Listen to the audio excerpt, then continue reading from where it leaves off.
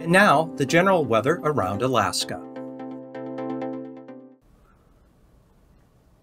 Satellite imagery for the day Wednesday today. You can see uh, faintly this low not as defined as it was back in Bristol Bay yesterday, or actually in the southeast Bering Sea.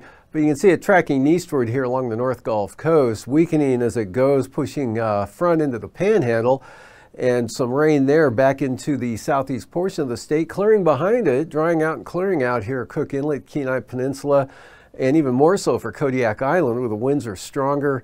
Gusty winds diminishing this afternoon for the Alaska Peninsula, and some showers here over the southwest interior, and areas of showers over actually all of interior Alaska with kind of an upper level trough across the entire region. And out here to the west, uh, clouds and moisture coming into the western Aleutians, and also a mass of clouds here with the next storm that's uh, going to stay mostly south of the, or will stay south of the Aleutian chain and then pull up to the northeast later on on Friday, heading into the southern panhandle. But today, higher pressure in over the uh, southeast and central Bering Sea, making for light winds, dry conditions out there.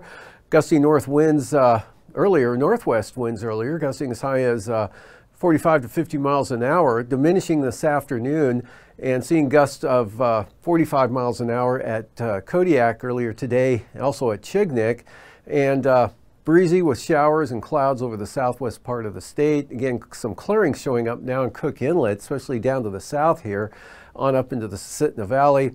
Showers starting to end slowly from uh, west to east here for the Kenai Peninsula. Dry conditions and a few breaks this afternoon uh, for Seward, but uh, rain, half an inch of rain falling at both Valdez and Yakutat today with this system, and rain up into the Copper River Basin area, lighter amounts in the interior.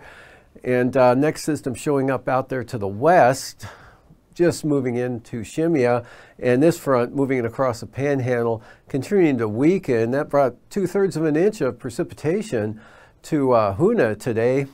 And for tonight, that front edges eastward over toward the border after midnight and then into Canada eventually.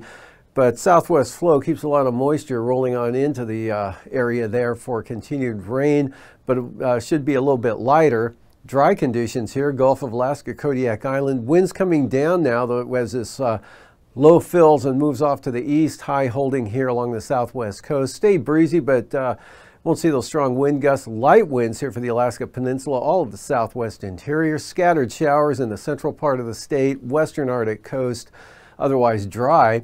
This storm system just edging onto the chart here, staying south of the area, high pressure holding that one to the south, trying to hold that one back to the west there. We'll see for tomorrow. This uh, slides eastward and a little bit to the northeast, probably going to spill some rain into the eastern Aleutians and pick at least the winds up to uh, small craft advisories, possibly gusts 35, maybe 40 miles an hour. Uh, same thing for the south side of the western Alaska Peninsula. Otherwise, high pressure right along the southwest coast, ridging down the central Aleutians for pretty light winds there, dry conditions. That same pattern all the way northward across the Bering into the Chukchi Sea. Scattered showers with some clearing over the interior and no showers tomorrow. Dry day Thursday, southern Alaska with uh, partly sunny skies, mostly sunny Kodiak and uh, surrounding areas back into Bristol Bay.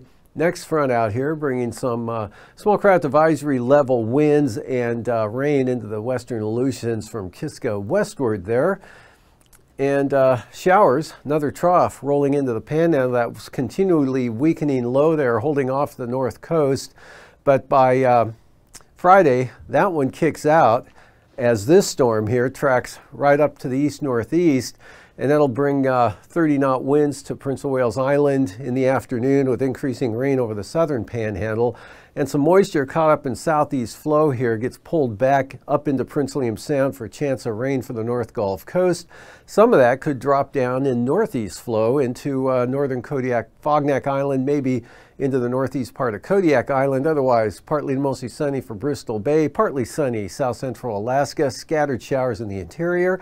Chance of rain and snow showers for the uh, Brooks Range, central and eastern Brooks Range, North Slope, and also with a weak thing up there for the central Arctic coast. Otherwise, high pressure center in the Chukchi Sea, light winds all the way down northern Bering Sea now, and winds stay light for the eastern Aleutians. This low breaks off the main front and not all that strong.